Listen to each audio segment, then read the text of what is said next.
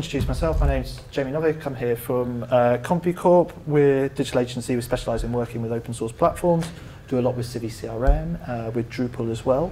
Um, we like to build complicated things using CiviCRM uh, and Drupal. Uh, work with a range of different organisations, non-profits, uh, membership organisations, uh, do some work with government as well. Um, and we are the development team that are behind um, CiviHR. So um, what is CiviHR? So CiviHR is the project to create a really great uh, an open source HR platform based on top of uh, CiviCRM and actually Drupal. Um, so where did the project come from? Um, so the project's the brainchild um, of uh, a charitable foundation uh, known as the Zing Foundation, uh, based in London. Um, and um, the Zing Foundation are a grant-making organisation, so they, they, they would pass out grants to various uh, charities, uh, which are their partners. Um, and they were handing out grants uh, to, to non-profits, some of which to invest in improving their IT. Um, and what they found is that uh, you know the charities would invest that money in IT platforms, but they wanted to find a way in which to make that money go a little bit further. So they said, okay, well, we can hand out a £10,000, £15,000 grant to a, a non-profit organisation and they can buy an IT platform off the, off the shelf, um, but it would be great if we could do a little bit more. Um, and so uh, they looked around and they saw CiviCRM as this open source product that's used by thousands of different organisations and they thought, wow, that, that's really great. Uh, and for a number of years, they were actually uh, funding some of CiviCRM development as well. Um, and, uh, and then they said, well, I think we, we can do a bit more. So we would like to create our own open source uh, system, maybe a new system that could also be as beneficial as uh, CiviCRM could be. Uh, and they looked around. Uh, I imagine at this point they got very drunk, uh, stayed up until about four in the morning, uh, tried to decide which system they were going to go with, uh, and they decided on creating an HR system. Um, because I think HR systems are very complicated, so they bit off a lot at that point. Um, and so the CiviHR project was, was kind of born. Um, so in a roundabout fashion, they came to uh, they came to Compucorp and they said, okay, we know that you guys do work with CiviCRM. Uh, this is what we want to produce. We want it to be very similar. Um, you know, can, can you do it? Um, and yeah, maybe I was drunk at the time as well, and I said yes. So, um, so uh, that is the story, exactly as it happened. Um, so why an HR system for non-profits? Well, uh, you know, I don't think this slide with three points on it really, really explains it. I think non-profits, it's a really challenging environment in which to uh, recruit and to retain, retain staff. Um, high proportion of staff with non-standard working hours. Non-profits tend to have very flexible working patterns. You probably have volunteers as well who are on complicated work patterns who, who aren't based at, you know, in the office doing various different things. Um, you know, how do you manage that? Um, it means that there is high complexity, obviously small budget in terms of what the IT spend operationally is going to be. Um, it's a competitive jobs market for skills as well. Uh, and charities. I, I mean, I, I don't always think it's the case, but sometimes they, you know, it's it's conceived to be the case that charities find it harder to compete with uh, yeah, enterprises and organisations. I don't think that's necessarily always the case, but um, and the reality of HR systems, a bit like you know, in, in some cases CRM, is the fact that you know, the, if you, if you have complicated needs, there are only complicated, ex expensive you know solutions out there. So once you peek out at what the off-the-shelf you know, okay, I've got this low-cost uh, HR off the shelf. Once you have more complicated needs, um, they're not really able to, to support that. Um, so the project's to do something about it. Um, so I mentioned that we've got, uh, this is just some of, some of the uh, organisations that we're working with at the moment, but we've got about 37 uh, not calling them pilots anymore, 37 organisations using CiviHR at the moment. Um, so we're in what we would call public beta at the moment, so it's open for anybody to sign up, it's downloadable on the internet as free, uh, as it's open source, but we very welcome you to sign up to the hosted version. Um, and uh, it's going to be uh, open for people to sign up and freely hosted until I think it's about April of, of this year. And then in April, for the hosted version, the plan is to charge one pound per user per month. So hopefully that's quite affordable. Um, and uh, volunteers, because they're transient, would also be, be free of charge. And so I'll talk a little bit more about that at the end and stuff. Um, So let me explain a little bit about CiviHR. I, I'm, I'll, probably dip in and out of the, the slides. Um, so CiviHR is split into two sides. Um, there is the HR admin side of CiviHR, um, and that's for your HR manager, operations people, you know, like actually we need to see all the data about, you know, the things that are going on, uh, and we can control all of that data, and, and that's kind of the, the more, uh, the detailed part of things. Um, and then you also have the self-service portal. So the self-service portal is then for all the staff to log into, and that's places where people can update their own details, request leave, and, and all of those different bits and pieces. Um, so um, I'll dive a little bit into CiviHR in a second, but um, what do we have in the admin side of things? Uh, and this is the currently released version. So I'll just log in here. Um, yeah, I'll do the Compucorp one, why not? Actually, I'll, I'll do the demo side show you all of our HR data because it'll all get videoed. Oh.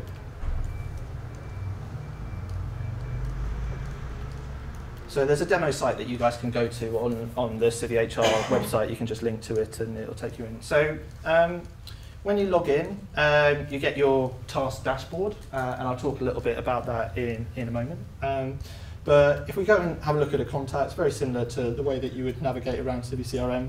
Um, so just searching for a contact. Here we've got um, Peter uh, Hagodi, um, and we've got kind of like an overview of Peter. There'll actually be a leave block in, in the new version. Um, and we can have a look at Peter's job contract. Got an internet, don't escape me now. Please, please come back.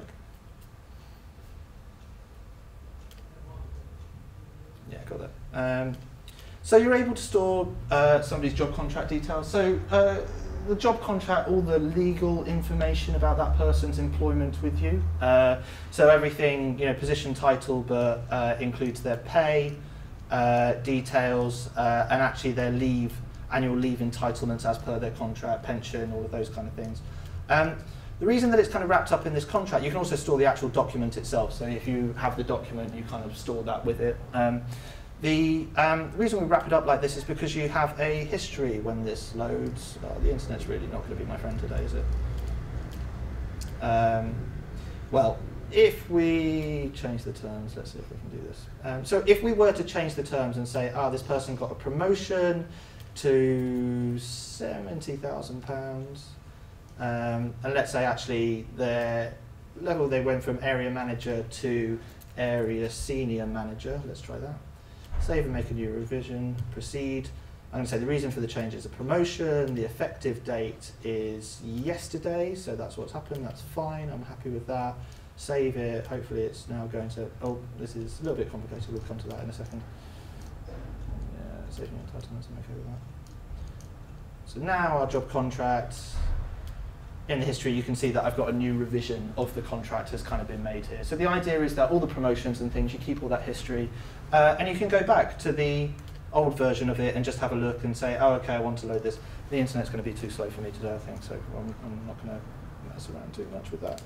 Um, so that's kind of like the job contract, and that's like the basics of putting in, you know, your, your data in the system. Um, uh, job roles. So, on internet. So similar to the job contract, we also have this concept of the job role. So it's all the non-contractual stuff. Um, so this is where we would kind of store location, region, department, uh, you know, any, you know, where they work and things like that. Uh, any funding information about somebody's role and cost centres that uh, apply to kind of funding that role. So again, pe people can have more than one job role though, so people could be in multiple job roles. Some people have like 50% on this and 50% on that. So we feed all of this data um, into the system, uh, and then we have this wonderful reporting. Should have opened all the tabs in advance.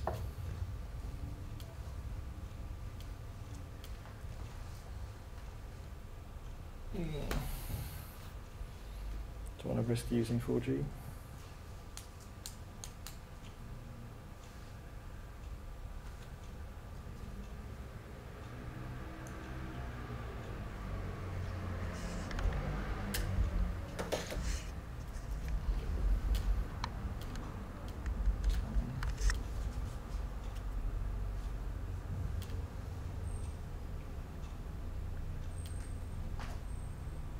Sorry, guys. Which wireless network are you on? I am on ACC Wi-Fi. See the one that's got the word one in it? There's Uh, another one, and it's really quite strong. Conf one. No, not that one. Is it one Wi-Fi? Oh right. Uh, is it the same password? It's Or- lowercase everyone. Oh, How did you find that out? Just at the reception. outrageous. Really quite fast. she was just sitting there like this. It's all, all good. Okay, cool. All right, so um, just gonna go to the yes. Wow, much better. Cool. It's like using the real internet. Um, so once you put all of this data in, you're able to create reports on it. That, you know, that's kind of like the whole point. Um, so we've got this quite cool. Um, it's it's a pivot table library. Don't let all the fields um, scare you. Um, who, who's made a pivot table before in their lives? You say that. There's a lot of people who haven't, you know, made pivot tables who I have this conversation with. Um, so um, basically, um, the system will, you know, it's telling us total number of staff is 99, but if I want to drag and drop something, let's say role location, now it's immediately done like our little pivot on, you know, the location field. Um, and then I could kind of say, okay, well, what about uh, gender? So here, uh, oh, no. We should have some data for gender, really. Surprised we don't. That's interesting. Uh, let's try, uh, let's do pay grade.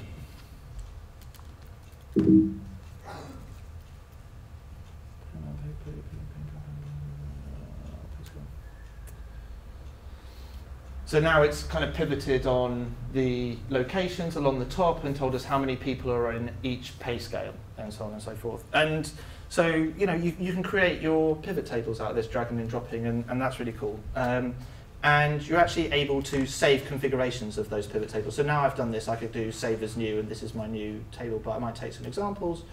So here I'm actually doing average pay by department. So actually the function I've done is average contract pay amount, and I've done it by department and contract type. And so starting to like really look into, into that sort of data. Um, you're able to create some fancy graphs as well. So age group by level. Let's try that. Oh yeah, we've got some graphs, light graphs, um, or charts. Uh, employee age by department. So it seems like everybody is less than 25 years old in this organisation, which is great. Um, and let's say, you know, gender by location. I thought we had some gender data, but it seems as if we didn't. So it seems like everybody's null in terms of their gender in this data, so I'm not quite sure why that is, but anyway. Um, so yeah, so once you plug all this data in, you can then report on all of it, and there's quite comprehensive reporting that you're able to create. Of course, because it's still Civi, you can always export out all of your data uh, and import it as well in the usual uh, in the usual ways. So that's kind of like the, the basics of, of the system. Um, so on top of that, we've got a uh, task and assignments module. So um, what is task and, and workflow, sorry, uh, this is, is getting renamed. Um, so the, a lot of the things that you want to do, I, I would imagine, if you're anything like me as an HR manager, is dealing with onboarding and exiting procedures for people in the organisation. So when a new person comes in, there's probably 25 things that you need to do. You need to make sure that they get done, uh, and you need to assign them to people in order to get them done and make sure that they actually do them. Uh, same when people leave, because if you leave, uh, obviously their access to all of the systems, then A, you're paying for it, and B, um, that's not very secure. Um, so CiviHR has these tasks uh, and also workflows. So you could say, okay, this person, staff, uh, is joining, when are they joining? And you can create a series of tasks in a little workflow here. And you can actually assign these to people as well. So you might assign that one to the manager, uh, uh, that one goes to the actual staff member, and so on and so forth. So um, you can create these workflows. Actually, in the late, in the newest version, which will come out in a couple of weeks, you'll be able to. Those will automatically assign based on the uh, the manager of the person. So you can actually say, oh, this one always goes to the manager. This one always goes to the staff member. So you don't even have to put that bit in. Um, and it'll pick up the offset as well. So you can put in and say, this has to be done one week before the starter. This, you know, send out new joiner pack needs to go out two weeks before. You know, six weeks after we should have first follow up and assign that to the manager and so on and so forth. So those. Um, people get a reminder about those, so they get a daily email reminder about it. Um, and also, um, you're able to then track all of these in your task dashboard. So you can say, okay, all of them, I can just look at the delegated tasks and see who's doing those. You can remind people about tasks, so you can go send a reminder, hey, you haven't done this, why haven't you done this, oh, why haven't done this, uh, type thing. Um, so um, another part of onboarding um, tends to be around gaining the right documents. So um, the other bit that the onboarding workflows can do is we have tasks which are specifically documents that you need to get. So here the example is P45 and passport. Um, if you're UK BA visa sponsors, then you might also need to get a copy of the relevant visas and things like that. Um, and again, you assign this to, so the, the way that it works for us anyway is that if you sponsor somebody, you need to get a copy of all the IDs before they're able to work, and somebody needs to actually see the originals and all of those kind of things. So you can build that into your workflow. Um, and it, will set up actually a slightly different task list, which is your document task list here. Um, the documents are slightly different, um, and the way that they work is that um, the document, so this one's actually awaiting upload, um, but they have a valid from and an expiry date, and you can have the system remind you when it's expiring. So if you've got somebody who is being sponsored for a visa, um, the system will remind you, and you can actually tell you tell the system when to remind you. So you can say, well, six months before this expires, and what it will do is it will create actually a new task for you to go and then uh, to uh, go and get get that document and so on and so forth. But otherwise, it kind of works very similar to a normal task, which is that okay, I assign this document task to someone, and they should go and get this document, and you can track that that's completed or not completed, and so on and so forth. Um, any questions so far? Okay, that's cool. Um, So- does how, and if it works with the CiviCRM? Uh, if you have, uh, if you are in an organization that has CiviCRM and wants to use CiviHR, uh, is there a possibility of single login system or something like that, or are there separate? Um, so, so um, there is the possibility of having a single login, uh, but I, I, we would recommend you to kind of do it separately. So, CiviHR basically, I'll talk a little bit more about this at the end. CiviHR basically takes over all of Civi uh, and you know kind of repurposes a lot of it. So, if you're using those bits of Civi, then it's, it's kind of you can't use it anymore. Um, so, CiviHR is kind of what, what we would call a distribution. So, it's kind of like a, a specially form. So, you, you'd probably want to have it separate. It is technically relatively easy actually to have the two of them with single sign-on because they're both Drupal or depending on what you're using, but you can do OAuth and all of those kind of things. So there's a lot of things out there to do it. Um, so I just mentioned also there's, there's a calendar here, uh, so you can kind of see your tasks, if there are any tasks. Um, so I have no tasks. Uh, and also key dates. Um, so it gives you a little overview, start dates, birthdays, any dates, probation end dates, so you can kind of see those in a list as well um, that, when those are coming up. And that's all part of the email that, that gets sent through to you. Um, so, yes, I've mentioned reports. Okay, so that, that's uh, a, a, little overview. I'll, I'll show some of the other things, uh, vacancies and, and, uh, and uh, leave uh, in a moment. But I just want to mention about the self-service portal. So um, that's kind of the HR admin side. Uh, now, only certain people obviously have access to that. On the other side of things, you have the self-service portal, and this is for everybody. Um, so the self-service portal is mobile friendly. Yay, we like mobile friendly things. Um, and um, what does it do? Uh, it's a place for uh, the staff to update their details. So if they've got addresses, uh, emergency contacts, and things like that. So if they've got any dependents, or if they've got uh, next of kin, or whatever it may be, could, they can add all of those details. Um, there is the staff directory, wonderful, so that everybody can contact and speak to each other. Um, so that's all in there as well. Um, and um, you have HR resources. So um, we might rename this, but it's, it's policy documents. So if you ever want to put up like you know your policies and your security policy, information sharing policy, your leave policies, whatever it is, there's a place to put those up so that people can't complain that they didn't have the policies. Question about the staff directory. Mm-hmm. We have a lot of people working in our organization half-time uh, Mm-hmm. um, or part-times. Um, could you make the overview so let me see all those from that uh, department who are available today? Um, Can can you combine? we haven't got anything that does that at the moment, but I don't think that would be a complicated thing to, you know, to, to, to kind of build all the data's there. Because I know that's the, the issue right right now. We, we have to, to scan through five columns at the same time? Who, who will be available? Well, I'll show you. Let me show you the leave module, and then maybe that will maybe that'll answer a couple of things. So not in the staff directory, but probably in the leave module. The leave module, yes, because if people aren't in there, then, then they're not in there. So I'll, I'll get to that. Um, so uh, you know, tasks and documents are in here as well. So uh, if you, if we have a task or a document somebody needs to do, then it's in the self-service portal. So because obviously some of the staff, the managers, don't have access to the other side. Um, uh, as I said, I mentioned about the policy documents, so people can download their policy documents, and they're all in here as well. Um, and uh, vacancies, which I'll, I'll touch on a little bit later. So that's kind of recruitment, so internally published vacancies. Those, those are all in there as well. Um, so yes, is there anything else to kind of say? I don't think so about that. Okay, so one of the biggest things that we've been working on that literally got released about two weeks ago uh, has been the culmination of over 12 months of work, uh, is the new leave and absence module, the new leave module. Um, so we had a leave module. Uh, it allowed people to request leave and people to approve leave and did kind of the basics of it. However, uh, we quickly found out that leave is a very complicated thing. People are very precious about it, uh, you know, uh, and so we it needed to do a few more things. So um, the new leave module has um, support for flexible working patterns. So if somebody works two or three days a week, the system understands that will only deduct the days that they actually work.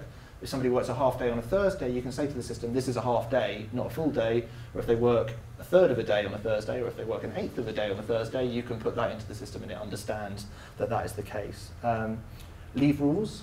So leave rules for carry forwards of leave. So at the end of the year, it will figure out, okay, well, we're only allowed to carry forward five of these because that's what our rules say. Uh, alternatively, things like toil. You have to take toil within three months. Uh, and if you don't take it within three months, you lose it. Uh, so, you know, also support for those kind of things. So I'll talk about a little bit about that. I'll show you that in a second.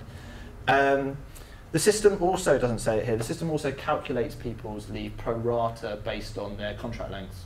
So if you say, okay, well, your contract says that you get 28 days of leave, but actually you're only going to have a six-month contract, the system will work out that that should be 14 days of leave actually is your permitted allowance. Um, request comment, so you can have a conversation on the leave request. So let's say the, somebody's asking for toil, they could say, I put in this request. The manager can go back to them and say, uh, no, I don't, you know, no, I don't think that's the case. Or yes, yes, absolutely, you should have two days of toil. Probably let's go with that. Yes, you should have two days of toil. Uh, type thing. Uh, so you can have those conversations there, so they don't get lost in emails, which is what generally happens with the leave. You know, nobody knows why anybody had a leave anyway. Uh, internationalization. So um, not quite there yet on this one. Uh, this will be in the next couple of weeks as well. But basically, so that if you have different, um, let's say, different leave types or rules for different regions, then you're able to set it up so that only certain people have those leaves basically applied to them. So let's say, so the example of this was Farm Africa, so they had um, six or seven different territories and the people in uh, Zambia had to have different leave rules obviously as the people in the UK. Um, improved calendars, so I'll show you those in a second. Uh, they're super cool, lots more information. Uh, and you can have multiple leave approvers as well. So, you know, the, multiple managers and all of that kind of stuff. So big, big changes actually. Over 12 months of building, 12, 12 months of scoping even before the build, 12 months of build. Definitely the most complex thing we've ever built. Uh, and we built a lot of complicated things. So let's, let's just show it. Um, okay, so uh, I'll, I'll do it the simple way round first. Uh, my leave. So as a staff member, I can look at my leave calendar, uh, and again, all of this, you know, is is, is uh, mobile friendly, uh, and I can kind of just look at the leave that I've taken. So this is just taking up my. I've got a standard working pattern, which is five days, you know, and uh, normal, you know, seven day a week type thing. Um, and I can record a new absence, request a new absence here, so saying annual leave, and I could say, okay, well, I want to take off uh, the 23rd until the 31st. And as you can see here, the system's taken a look here. It's worked out uh, all day, all day, all day, weekend, and so on and so forth as to what my deduction should be. If I did a half day AM, uh, it recalculates and so on and so forth. Right. Then I'll whack that in there. Uh, and that will go off to uh, you know my manager. He'll get an email which says you know please uh, please approve this. And you can see here like the calendar's now included this, and it's got a little grey line. I don't know if you can see that, but just to say it's it's requested at this point, uh, not approved. Um, I'm also the manager in this context, so I don't know if I've actually got a leave request there. No, I've got nothing to uh, say. All there we go. Um, so here you can see kind of like the open leave requests uh, that have come in. So I would have got an email about it. I could have clicked on that, uh, and I can then take a look at this and say, okay, uh, this one actually happens to be. So I can actually have a look at the calendar here for the team. Um, let's just do all of it. Uh, people I approve all.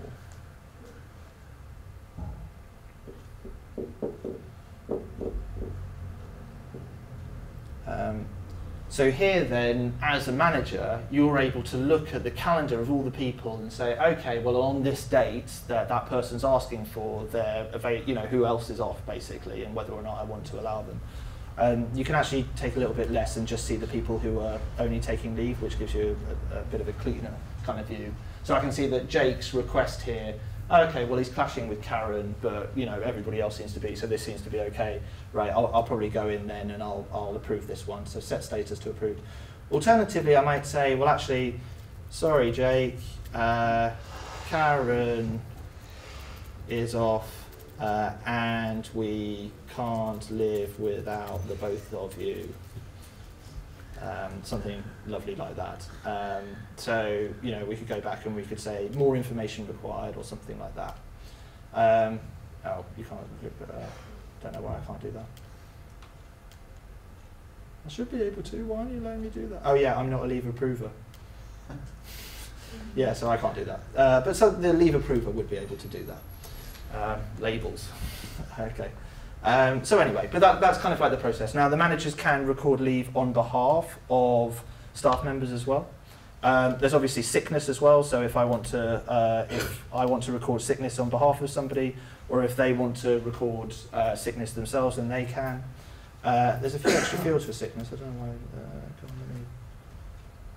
Let's do it this way around.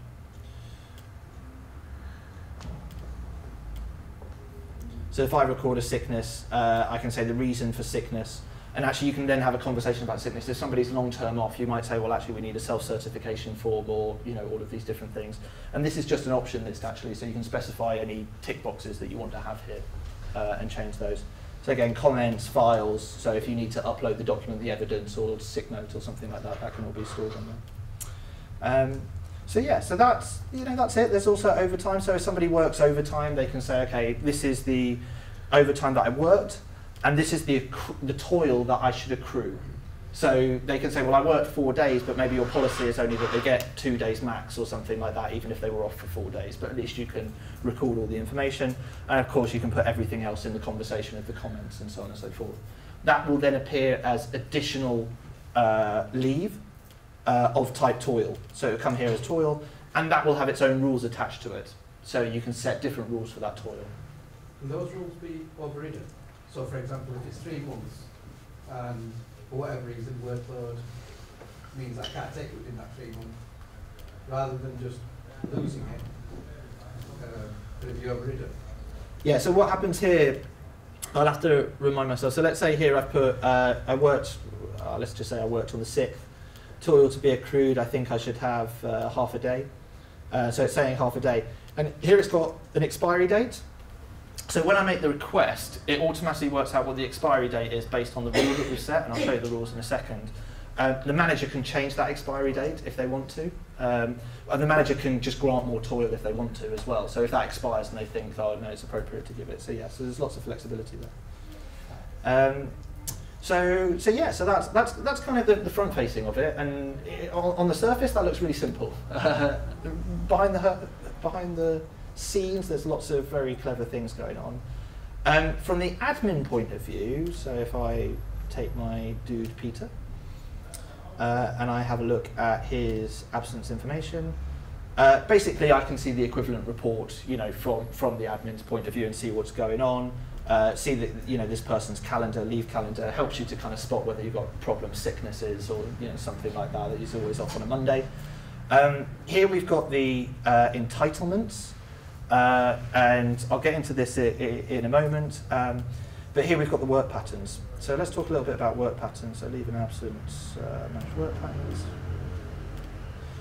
So what you're able to do is you're able to set up work patterns for different people. So uh, you, you'll have a standard work pattern that the system ships with, you know, five days, 37 and a half hour week, uh, maybe a 40 hour week. Um, you can always add a new work pattern. Maybe this is for, you know, Sheila because she only works Mondays and Tuesdays. Alternatively, maybe it's the shift workers because they all work Monday, Tuesday, Wednesdays, and then also Fridays, Saturdays, something like that. Um, so you can set all of that up in the system. Uh, and you basically say, okay, well, is this a working day, yes or no? If it's a no or it's a weekend, that tells the calendar that. Um, how many hours they work, and then how many days should be deducted for that day. So if they only work half of the day, you can say, well, only deduct half a day. Um, we're actually going to be releasing an update to this in you know four to six weeks, which will do it by the hour. So if you actually have people's contracts written hours, then you could you can move to completely doing things in hours. So really, if somebody's contract says they get 28 days of leave, you, you might be better off doing things in days because it's just easier to work that way, even if they've got flexible working patterns. You might just say, okay, Wednesday is, uh, you know, even if they do nine to uh, nine to three on a Wednesday, you might just say, well, that's three quarters of a day if you take it off.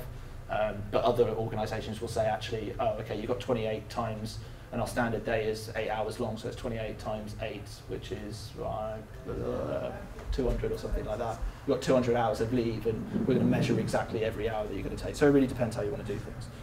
Um, but so you can create these, um, you can create these working patterns, um, which is nice. Uh, and then, as if I go back to Peter, you can then assign it. So you can see that by default, he has the default uh, five day a week working pattern. Um, and then we can add a custom working pattern and just say, oh, from this date, he started working three days a week. And what that basically means then is that, and I'll go to use the CompuCorp one for this Bit blue Peter. Here's one I made earlier. So if then uh, I was to record an absence for that person who had a flexible working pattern, this person doesn't. Come on.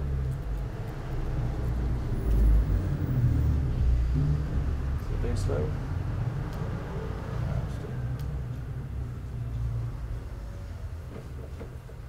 But we're doing so well with this new internet connection.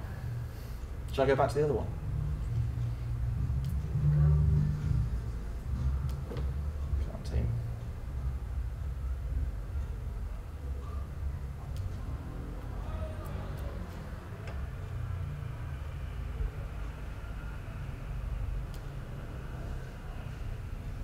Something's happening. Much better.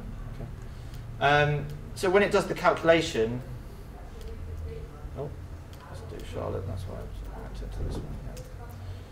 So Charlotte actually works uh, three days a week. So if I put in something for Tuesday through to, uh, let's put in a couple of weeks here. Um, what you can actually see is it's, it's taken the non-working days and it's put a zero by those. So it's kind of done all the calculations for you and figured it all out and done, done the appropriate things. That was a lot of work just to show that thing. Um, but it was even more work to make it happen. So, um, you know, I, feel justified. Um, so the other thing that's kind of useful is that you get this report, uh, which is kind of the leave balances of each of the staff members and things in one place. So if you're trying to work out who's used what and you're worried about things or need to identify things, then, then you've got this as well. Um, and all of that data also goes into the report, so you can look at leave and absence uh, reports. Uh, there is one I always like to show, which is the waiting for it to load screen. That's my favourite report. Come on.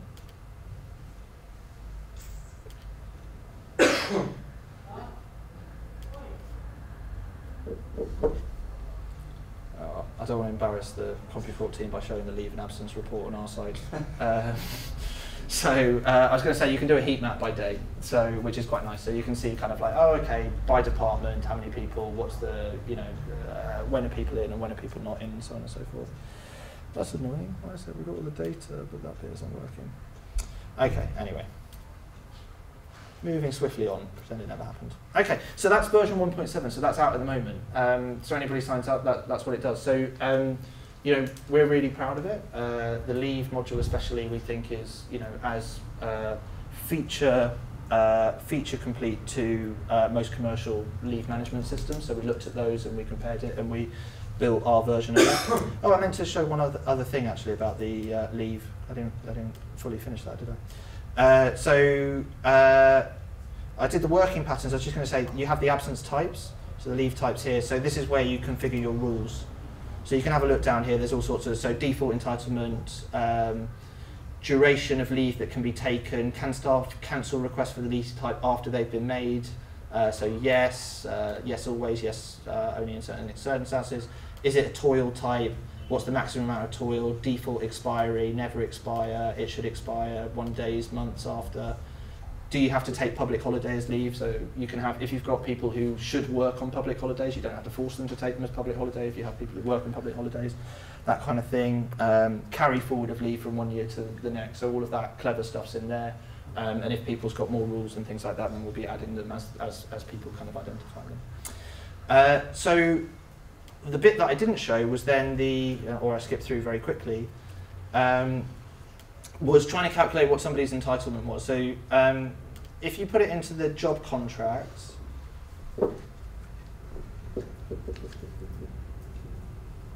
internet permitting,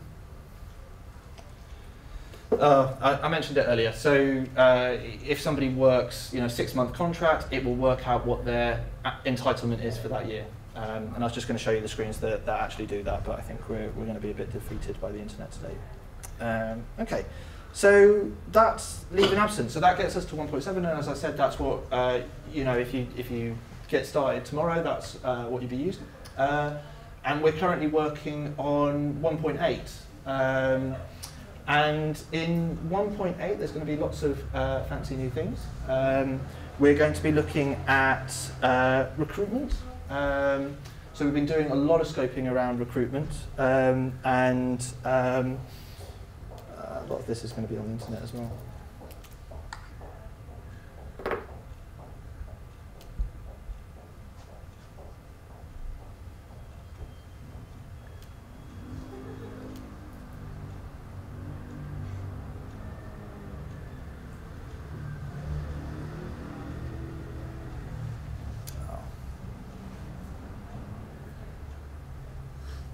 Okay, I'll, I'll skip over that. Um, so looking at recruitment, and, and basically for recruitment, uh, we've done a lot of work at looking at that, similar to the leave and absence, similar scale of, uh, of, of complexity uh, and thinking, but we want to understand that recruitment is kind of a team effort. Um, and so it's, it's something that everybody from the managers, you know, to the actual HR team, you know, gets involved in. So the idea is that somebody applies online, you have like a form that you can build for that, it comes in, you're able to assign, you know, somebody to uh, have the interviews with people, uh, report back, feedback, collate all that data, and then take somebody through the, uh, the process for recruitment. There is a basic version of recruitment, which I haven't shown in the system, um, and that allows you to create an online form, people can apply, and you can still manage the communications. Um, and you know, perfectly usable, but um, the new one that we're doing is kind of really complete, going to be a lot more about the team being involved uh, and the self-service portals and things like that. So really excited about that. Um, there's uh, payroll export. So at the moment you're putting the pay information in. Uh, we want to do a bit more than that, so you can kind of put lots of different pay information in, bonuses, all of that kind of stuff. And actually the system can calculate then for you um, what the payroll uh, should be at the end of the month. So it, it won't do all the tax stuff, but it will probably do all the things like, okay, this person's paid X per day, and they work this number of days, and therefore this is how much they should be paid, and, and so on and so forth. So working all of that kind of stuff out. Also trying to take into account things like pensions and benefits and cycle to work schemes and you know free paper hats, whatever it is that you guys offer um, to, to your teams. Um, looking at asset tracking as well, so being able to store, uh, you know, what assets that people have. So if you give people mobile phones or if you give them a didgeridoo, that uh, being able to know when they took it and what scratches it had on it. Um, and appraisals and people management. So that's something that we've been looking at as well, recording the fact that you have to do an appraisal and that it's taken place, uh, and, and so on and so forth. Oh, these are all the slides that I was supposed to go through. Um, so one of the things that I did want to mention as well is that you see all this fancy UI. Um, and you know this, uh, as you saw hopefully a little bit earlier, is the stuff that's translated into the new Shoreditch theme. So we're bringing all of that kind of stuff over into CiviCRM, and we're very excited about that as well. Uh, thanks to you know some other organisations, Amnesty in Spain, Healthwatch, and the Association of Teachers and Lecturers. Um, as Tim mentioned, we're about 70% of the way through all of CiviCRM there, so we're, we're very excited about kind of getting that finished as well. Some screenshots of that. Cool. Um, so check out the demo. Um, so you're very welcome to uh, find out more information. Uh, so if you go to civihr.org, um, yeah, it's loading. Great. Uh, so there's more information about the modules of the system, um, and you're able to view the online demo here. And this demo is kind of periodically reset, so you can kind of have a play with it and, uh, and see kind of the system is everything that I showed uh, today. Um, and um, and sign up. So I, I, I mentioned uh, about uh, the hosting arrangement. So there's a hosted version uh, that uh, is being made available. Um, and so if you're interested in trying CiviHR, then uh, that's free to sign up for uh, up until April 2018. Um, and after they, they were planning to charge one pound uh, per user per month, as I said before, um, with volunteers being free. And if you have any questions, then feel free to contact myself or Andrew, uh, who, who's also involved in the project. Cool, got there. Any questions? Yes. Any question? Does it um, integrate with external kind of shared calendars? You know, so if people put in their leave, can that pop into the shared Google calendar? Not yet. We, we ummed and ahed about that actually as kind of something we wanted to do. Uh, and, and the problem is, is that you need to, like, it, it's, it's slightly complicated in the sense that, uh, so we, we, we looked at that as a feature that some other uh, leave management systems offer and found that it wasn't actually something that people use because it's actually quite a fiddly thing to set up.